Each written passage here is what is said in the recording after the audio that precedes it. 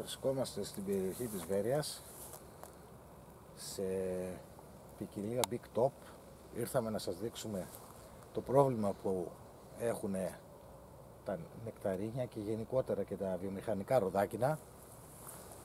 Ε, λοιπόν, να παίρνεις θέλω με την κάμερα τα δέντρα έτσι ώστε να φαίνεται και στο κάτω μέρος και ψηλά το πρόβλημα με τη μειωμένη παραγωγή που αναμένεται να έχουμε φέτος. Μόνο δύο ροδάκινα. Ένα. Ένα ροδάκινο, τα άλλα είναι τροφικά. Δείξε λίγο με την κάμερα και να προχωρήσουμε λίγο. Εδώ. Εδώ δεν υπάρχουν ροδάκινα. Και πάνω ακόμα είναι τροφικά, δεν έχουν πέσει. Εδώ έχουμε διπλά ροδάκινα, εδώ είναι και εδώ τριπλά.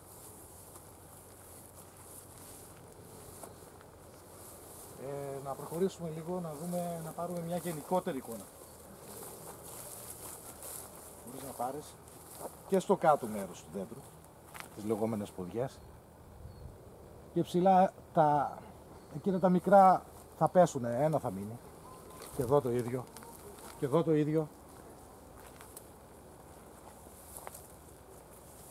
Αυτό το δέντρο.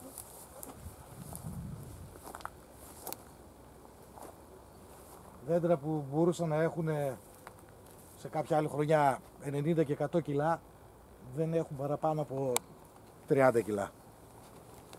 Και αυτό γιατί άμα είναι ένα-δύο ορδάκινα θα, εντάξει, σίγουρα θα ζυγίζει περισσότερο. Και εδώ. Αλλά και εδώ.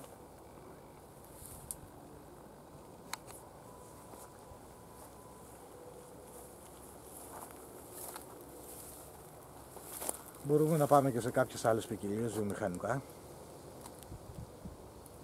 Να δούμε το πρόβλημα και εκεί.